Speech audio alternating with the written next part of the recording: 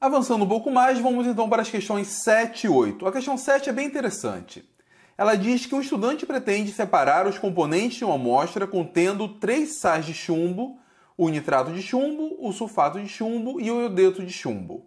Após analisar a tabela de solubilidade abaixo, ele propôs o seguinte procedimento. Antes de vermos o procedimento, notem que temos alguns sais solúveis em água quente e outros solúveis em água fria. No caso, o sulfato de chumbo é insolúvel a quente e a frio.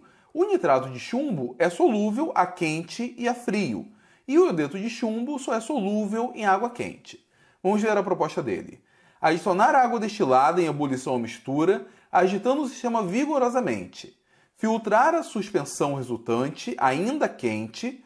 Secar o sólido obtido no papel de filtro. Este será o sal A. Então, quem não é solúvel a quente? Quem não é solúvel a quente é o sulfato de chumbo.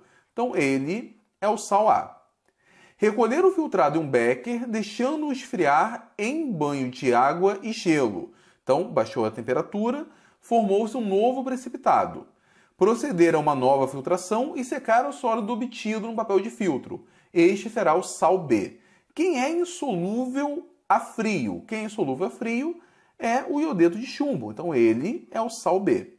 Com isso, obviamente, o nitrato de chumbo será o sal C. E como que ele vai obter esse sal? Aquecendo esse segundo filtrado até a evaporação completa da água.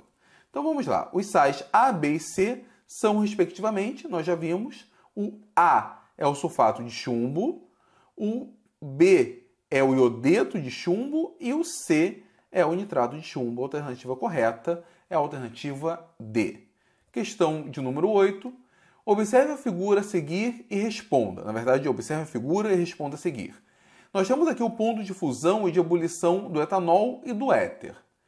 Para análise dos dados da tabela, medidos a 1 atm, podemos afirmar que a temperatura de 40 graus Celsius e 1 atm.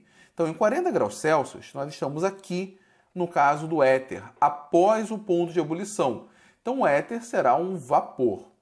Agora, no caso do álcool, 40 graus Celsius está aqui entre o ponto de fusão e o ponto de ebulição. Então ele será um líquido. As alternativas são exatamente para saber a fase de cada uma dessas substâncias, de forma que a alternativa correta é a alternativa E, que diz que o éter se encontra em fase gasosa e o etanol em fase líquida. Com isso, finalizamos rapidamente essas duas questões. No próximo vídeo, veremos as questões 9 e 10.